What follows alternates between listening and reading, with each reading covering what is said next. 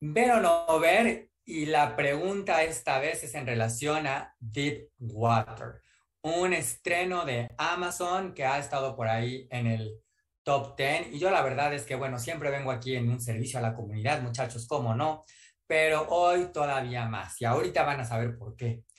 Pero bueno, ¿qué onda con esta película Deep Water? Que es una película pues que se ve desde el póster ahí como como invitadora, como intrigante, porque además pues tiene a dos actores bastante, bastante llamativos, a Ben Affleck y a Ana de Armas. Ana de Armas además es una actriz pues que ha estado eh, pues escalando, es una rising star, es una actriz que ha llamado mucho la atención. Acabamos de verla hace relativamente poco en la más reciente película de James Bond. Además ella tiene una secuencia cortita pero se roba esa secuencia, está espectacular, está simpatiquísima, eh, es una actriz pues de la que queremos saber más, de la que vamos a estar sabiendo más, la van a ver por ahí pronto también haciendo la de Marilyn Monroe, así que bueno, es una actriz eh, muy, muy eh, importante de estas nuevas generaciones, ¿no?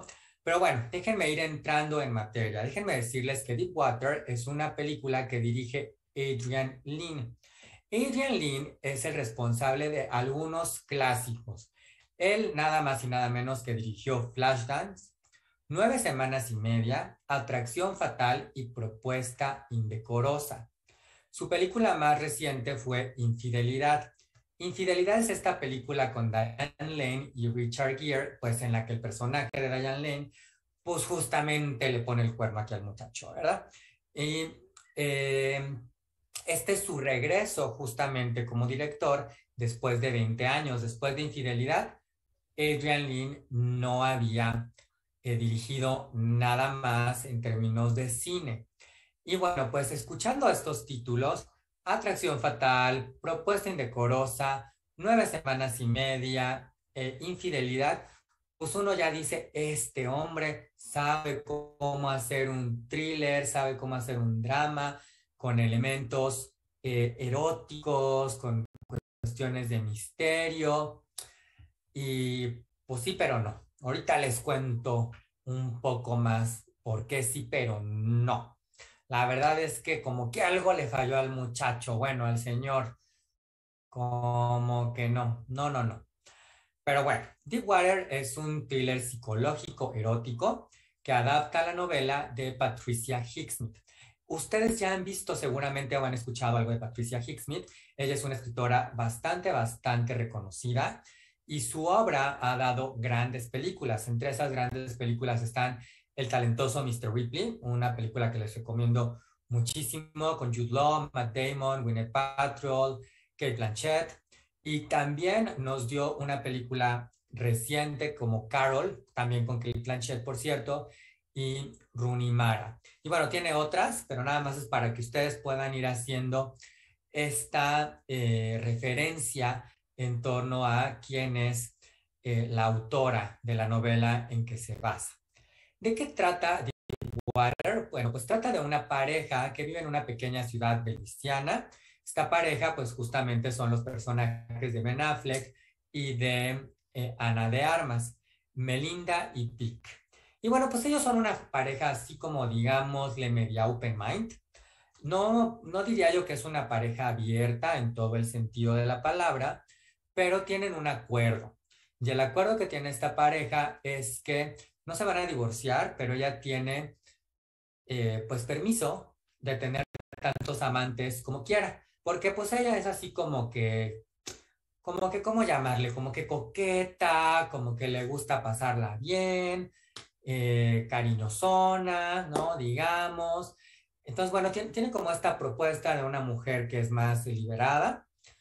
Sin embargo, las cosas se van a empezar a complicar porque de repente los, eh, pues los galancillos, tiene un galancillo a la vez, digámoslo, pero estos galancillos pues empiezan a desaparecer o han ido desapareciendo de maneras misteriosas. Algunos simplemente no regresan, otros de repente aparecen muertos por aquí o por allá. Y pues, ¿qué onda, no? ¿Quién está matando a estos pobres e inocentes hombres? que han osado empezar una relación con Melinda. Pues eso es lo que tendremos que descubrir justamente. Algunos de estos eh, pues amantes, eh, amantes de ocasión, son interpretados por Jacob Elordi. Jacob Elordi es un actor joven que aparece por ahí en Euphoria, seguramente ustedes lo identifican, es un chico australiano, muy guapo, muy carismático, simpático, que aquí va a aparecer como una de estas parejas. Y otro de ellos es Finn Wittrock. Finn Wittrock es un actor al quien hemos visto en American Horror Story, ¿no? Eh, la película, por cierto, se grabó desde el 2019, ya tenía un ratito y tenía que habernos llegado en el 2020. Inicialmente iba a llegar eh, pues justamente a salas, pero pues se fue atrasando y todo lo demás. Además, ustedes a lo mejor, yo aquí ya estoy, ya estamos aquí como que en el chisme, muchachos, en el lavadero, pero a lo mejor ustedes habrán eh, sabido que Ben Affleck y Ana de Armas pues tuvieron una relación, fueron noviecillos. Y esa relación empezó a raíz de esta película. Ya terminaron porque como ustedes saben, pues Ben Affleck ya está de regreso con Jennifer Lopez. Pero bueno, ahí se conocieron, pues después de estar haciendo estas eh, historia eh, pues romántica que tiene, sí tiene escenas eróticas, sí, sí, no súper eróticas, yo creo que Adrian Lynn ha tenido algunas verdaderamente eróticas, muy, muy cinematográficas, en alguna de estas otras películas que les comentaba, que además son clásicos, digo, nueve semanas y media, por favor, pues es como clase maestra de estos temas, ¿no? ¿Qué tiene bien esta película? Pues yo les diría que sobre todo el diseño de producción, el diseño de producción tiene algunos elementos, la fotografía, dando estas tonalidades de una ciudad eh, media húmeda, media nubladona, que quiere hacernos comunicar como este ambiente medio asfixiante, pero también medio sexy. Creo que esa parte está bien. Eh, y pues nada más, muchachos. La verdad es que, como yo les decía, este es un servicio a la comunidad y esta película no consigue del todo que empaticemos con los personajes. Sí son personajes interesantes, queremos saber un poco más de ellos, pero mm, no del todo, no están del todo bien construidos. La película desperdicia a los actores. La verdad es que Ben Affleck lo hemos visto haciendo cosas muchísimo más interesantes. Sabemos que puede ser un actor bastante, bastante resultón, con, con unas buenas tonalidades. Aquí eso no sucede.